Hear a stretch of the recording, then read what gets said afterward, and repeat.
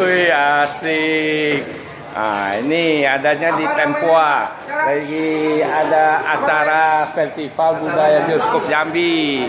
Ini semuanya seniman nih, seniman uh, seniman senior senior. Ada dari Palembang, Jakarta, dari luar negeri. Ya, ada dari Solo. Nah, ada dari Palembang. Iya. Iya. Iya.